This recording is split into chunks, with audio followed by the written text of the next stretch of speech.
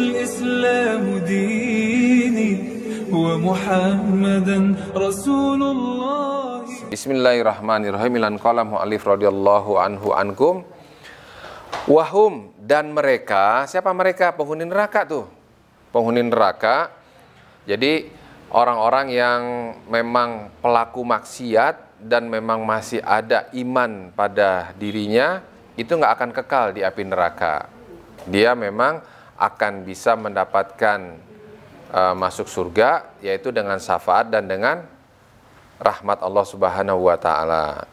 Nah, penghuni neraka yang lain wahum mutawa mutafawituna dan mereka penghuni neraka mutaf, mutafa uh, mutafawituna wa yurwa annal akhiruhum khurjan minha wa atwaluhum fiha muktsan. Dan diriwayatkan bahwa penghuni neraka di neraka itu kondisinya satu sama lain berbeda tergantung dengan kemaksiatan yang dilakukan selama di dunia. Jadi beda-beda level daripada siksaannya. Dan diriwayatkan bahwasanya akhiruhum penghuni neraka yang terakhir keluar dari neraka wa dan yang paling lama tinggal di sana yang paling lama tinggal di sana ya, paling terakhir nih, paling terakhir. Itu maksudnya orang yang masih ada iman, tapi dia penghuni neraka nih, masih ada iman dikit aja. Nah, yang paling terakhir itu keluar dari api neraka, uh, keluar dari neraka itu ya uh, yaitu yahruju minha ba'da sab'ata alaf sanatan. Keluar setelah berada di neraka itu selama 7000 tahun. 7000 tahun. Kita aja umur 63 tahun, disiksanya 7000 tahun. Disiksa selama umur hidup ini sehari saja disiksa udah nggak kuat, sehari. Ini 7000 tahun. Dengan 7000 tahun ini versinya versi di neraka. Yang kita nggak pernah temui siksaan yang paling sadis, paling mengerikan di dunia itu nggak ada apa-apanya dibanding siksaan yang ada di neraka. Dan ini 7000 tahun yang paling terakhir paling bontot keluar dari neraka itu setelah 7000 tahun.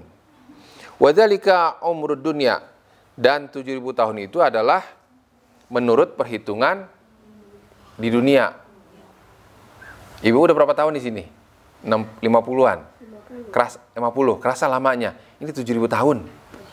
Mau nggak? Kalau nggak kalau nggak selamanya di neraka.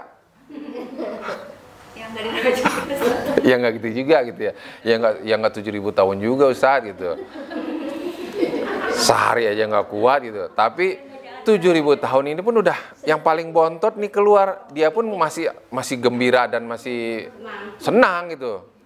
Karena terakhir dia, dia keluar paling terakhir dia udah selesai tuh masuk surga. Dengan segala macam kenikmatannya. Jadi kalau ada yang bilang mau nggak peng, penghuni terakhir yang keluar dari neraka ya itu pun juga alhamdulillah daripada selama-lamanya di neraka. Gitu. Ya kan kita masih ada harapan. Syafaat sama rahmat gitu. Rahmat dari Allah. Dan dikatakan satu pendapat ya wala yakhludu finnari muwahidatun albattah. Satu riwayat mengatakan bahwa seseorang yang memang masih ada iman sebiji zarah di dalam hatinya itu tidak akan kekal kekal di neraka. Jadi sebandel-bandel dan sebejat-bejatnya seseorang yang masih beriman, dia tidak akan kekal di neraka. Ya, tapi dia akan masuk surga, mungkin surga yang paling paling budget kali ya. Kalau hotel itu ada hotel budget, ini uh, surga yang paling budget gitu. Nah di Uspuria dibahas surga yang paling rendah itu mempunyai luas seluas empat wilayah Irak, Persia, empat kerajaan di dunia itu. Paling itu yang paling rendah itu ya paling rendah itu berarti ini nih paling terakhir. Tapi kalaupun dia dapat di ngemper di tamannya uh, penduduk surga pun masih masih alhamdulillah. Ya makanya masih untung lah. Kalau orang kita orang Indonesia masih untung lah. Walaupun dipersilahkan di emperan penduduk surga. Akan tetapi akan keluar dari neraka yang siapa saja yang di dalam hatinya itu masih ada masih ada seberat partikel terkecil walaupun masih ada iman sedikit sekali, itu tetap tidak akan kekal di neraka. Apalagi kalau imannya kuat, bagus, berat timbangannya.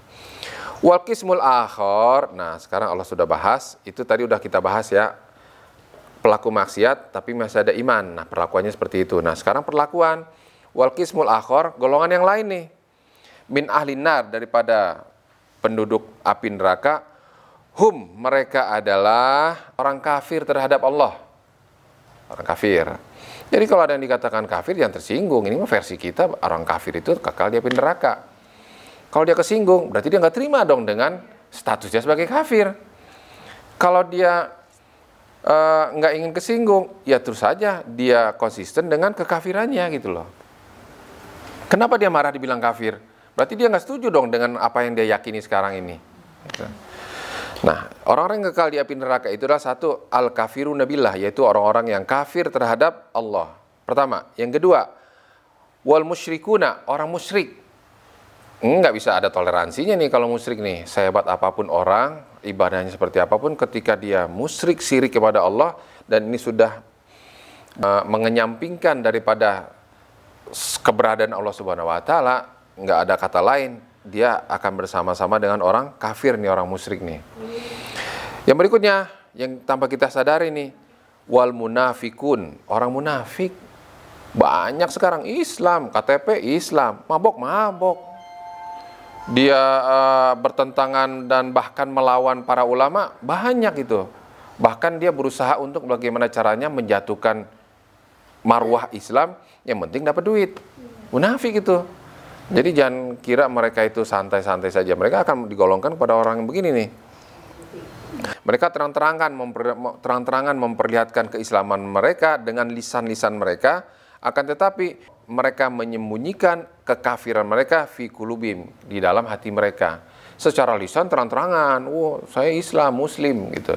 Tapi dia menyimpan kekufuran, kekafiran dia di dalam hatinya.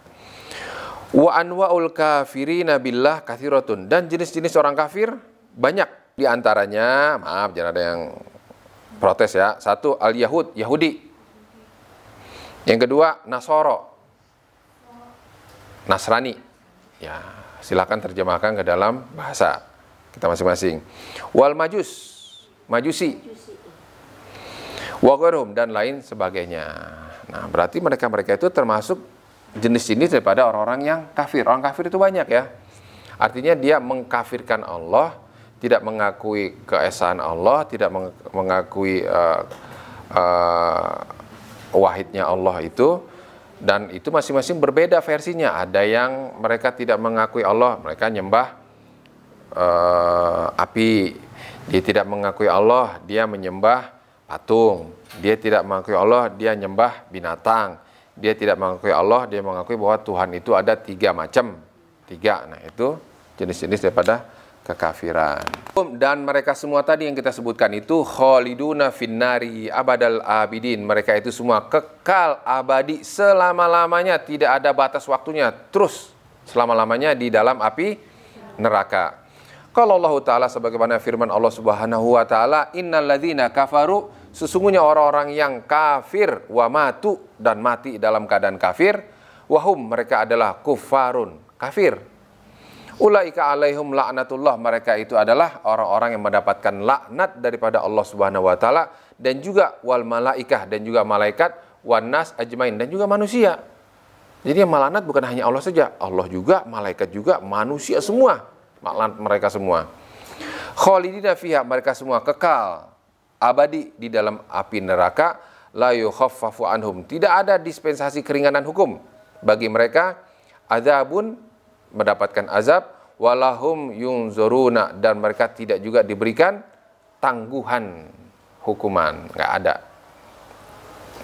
Wa ta'ala dan sebagaimana firman Allah Subhanahu wa taala Allah sesungguhnya tidak akan mengampuni dosa orang yang telah musyrik kepada Allah wa yakfiru maduna dan Allah akan mengampuni selain dosa musyrik tadi. Yang lainnya diampuni yaitu bagi orang-orang siapa saja yang dikehendaki oleh Allah. Wa qala ta'ala dan sebagaimana firman Allah Subhanahu wa taala innahu may yusyrik billah faqad haramallahu alaihi al-jannah Sesungguhnya orang-orang yang musyrik kepada Allah diharamkan bagi mereka masuk ke dalam surga. Wa ma wa hunnar dan tempat mereka sudah siapkan apa? Neraka.